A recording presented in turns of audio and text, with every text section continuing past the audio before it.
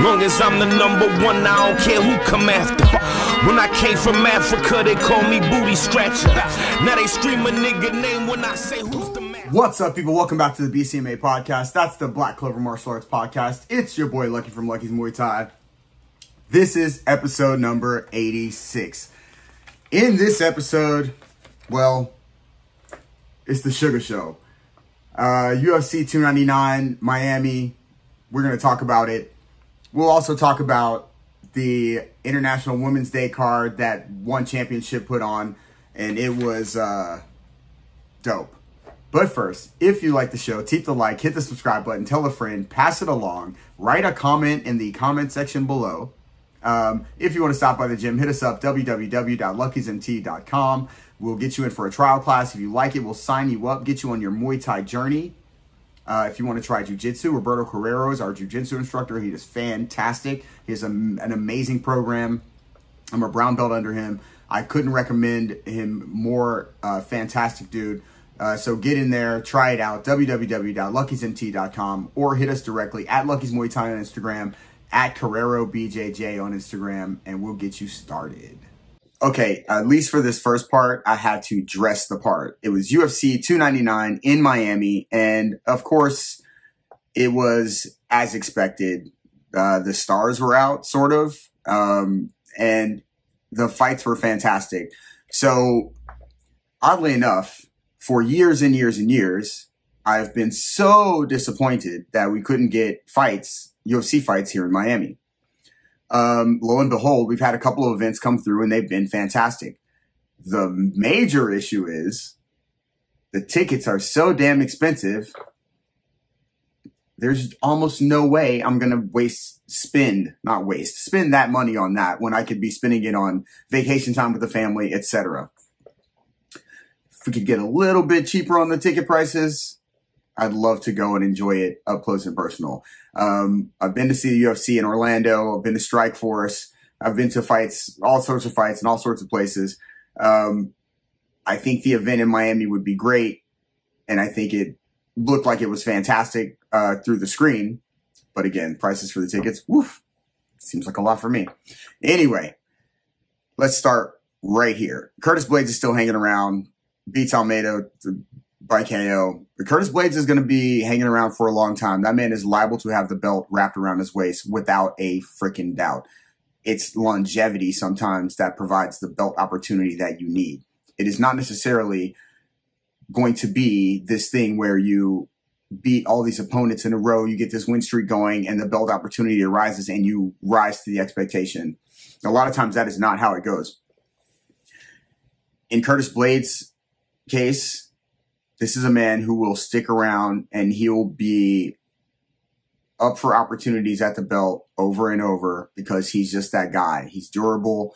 He might lose some, but he's going to keep being there. And I, I could bet that at some point it's going to be one of those moments where the belt opportunity arises right where, right where it needs to be. And that man wraps it around his waist those things happen in the UFC. They happen in fighting and durability and longevity and understanding the game and patience sometimes is befitting of some people. Whereas the quick rise to stardom or the 10 fight win streak is the thing that other people, uh, succeed at. So shouts to him for sticking around, man. Peter Yan beats Song Yadong. I was just waiting for the laughter to finish before because, you know, y'all are children. Uh, Peter Yan says, let's start the revenge tour. Yeah, I mean, look, dude, everybody was so high on Peter Yan for the longest time. And he just looked like the last, those last few fights against Aljamain and, you know, just, he just doesn't, Sean O'Malley, even though, yeah, whatever. I just, I, if I'm him, I'm the same way. I feel the same way you beat a dude like like Song Dong, and then you tell everybody I'm coming for I'm coming back for you. And if he really is about it, he'll be there because he was he was a menace before the fall off. And he I feel like he's going to be right back. I think he just had to have a a little bit of uh, soul searching, and I think it's done. Um, Gilbert Burns lost a tough one, man. Uh, Jack Della Maddalena, who is a fantastic striker in volume, understands angles and all those things. He just is really, really good and he puts together punches and combinations. And, you know, unfortunately for Gilbert, I think it was even in the third round. I mean, the fight was almost to the end. And it's not to say that Gilbert would have won because Maddalena was definitely putting on, you know, several, you know, combination uh, situations where he was throwing more. But I will give it to Gilbert Burns because he defended a lot, a lot, a lot of strikes with his footwork, with his arms. He was doing really well. He got caught with a jab early, and I thought to myself, oh, they were preparing for this because they felt like he is susceptible for that. And he was, right? He got caught with it early and, it, and he gets hit with it squarely. That's his problem with the jab. It's not that he gets popped with it, popped with it. It's that he gets hit with the jab the way some people get hit with crosses. It just has to be with it, it literally has to do with his positioning and, and how he steps in when he goes to strike. I mean, that's a, not an easy thing to fix, but you can definitely work to fix it. What they did, what he did do was avoid that a lot later. And throughout the fight, he did stay away from that. His footwork was great. I don't know if he got tired towards the end. I don't know if it was just Maddalena's pressure. Maddalena did start turning up the, turning it up I mean, there was a point where Gilbert Burns intercepted Maddalena coming in and hit him with an elbow. Like he was really, really in this fight. He was doing great things, but Maddalena is just a beast, and he's out here putting together strikes in combination. And I think when you're that kind of striker and you understand what's happening, you can beat a lot of people up just based on how you position yourself and your footwork, and then always striking with three or four or five strikes and putting together body with head and legs and like it, it just works really well if you understand how to do it and put it together. So shout out to Maddalena for, you know, putting away Gilbert Burns, who was actually having a pretty good um, fight offensively and defensively, but Maddalena just turned it up and that was it. Holy shit. Kevin Holland and MVP. Um, Kevin Holland reminds me of where uh, Masvidal was in his career a little bit. I feel like Kevin Holland doesn't realize that he can really beat all these dudes. Kevin Holland is fucking good. He could have beat MVP as well. When he pressed him up against the cage and took him down and beat him up, he had success. When he pressed him up against the cage, he had success. I'm not saying it was easy. I'm not saying that MVP wasn't strong as hell.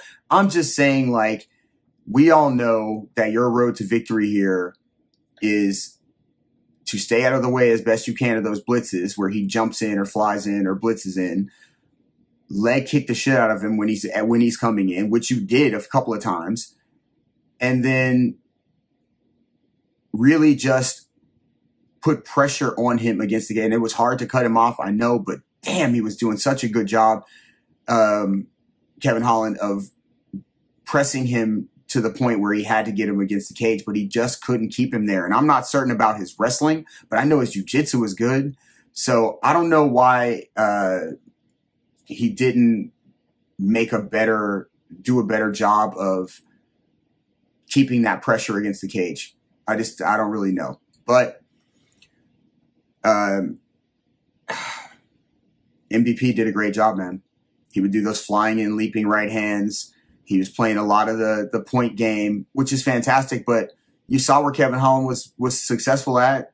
Kick those legs out from underneath him and press his ass against the cage. Take him down. Make him have to work to get back up. Those were the things that were successful. What was not successful was staying out of range and really trying to um, beat him at his game and you're if you're not faster than him and he's starting to land some of these overhand rights that are landing behind the ear and these things like you have got to stay face forward squarely as much as possible. And I don't know man kick those legs out. Like I don't know what happened there at that point. And I know Kevin Holland got severely uh severely he got super frustrated. And then he danced a little at the end too like you know why don't you engage? But ultimately Kevin Holland might have one of those moments in his in his career where he's just like, "What am I doing? I know I'm going to beat the I can beat these guys," and then he might come out as Masvidal did and really go on a tear. Um, I foresee this. This is the future for Kevin Kevin Holland. Believe it. MVP, I don't know. you know, obviously everybody that knows knows we don't want to see him versus Stephen Thompson. It might turn out to be lame. So let's not do that. Uh, where does he go? MVP from here? I have no idea. Um, he always was going to want it to be a show because that's where he comes from. The UFC claims they don't like that. All right, man. Y'all are in the entertainment business. You, how can you say you don't like entertainment? Like this is that bullshit. You can't wear your yo Sean O'Malley. You can't wear your own. There, it's so stupid. Like you can't have your own personality, but we're gonna give we're gonna push those people that create their own personality and like their own character. It's craziness. Anyway, MVP, keep dancing, man. Do your thing. I hope you uh, do really well, and you know maybe get a title shot at some point. I don't know, but Kevin Holland, man, you got this, bro. Get back on the horse. Don't let these fools just be beating you. I know you love to talk to them. Take them down, beat them up, submit them. You dare Travis Lutter, black belt? Are you serious? Man, please choke some of these people. Not disappointed, but just like I'm a little disappointed that there wasn't a little more engagement, you know, at moments where there could have been. Um, let's get to it. Dustin Poirier KOs Benoit Saint Denis. And let's talk about what Dustin Poirier does and who Dustin Poirier is. I've been a fan since way back when the freaking they did a documentary back when none of y'all were watching any of this MMA stuff. Um, and he was in it. And the truth of the matter is this dude is just a very, very talented and skilled fighter. This man understands everything that needs to be understood about what it takes to win a fight.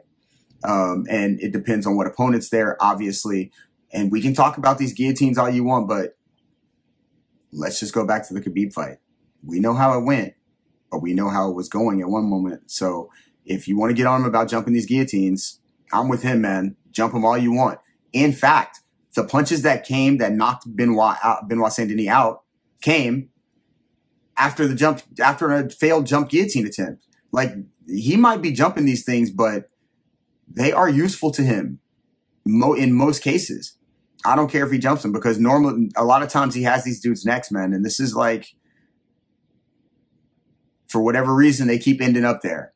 So for whatever reason, I'm going to keep trying to snatch that neck. And I get it. Um, but to be honest, he's just very good defensively.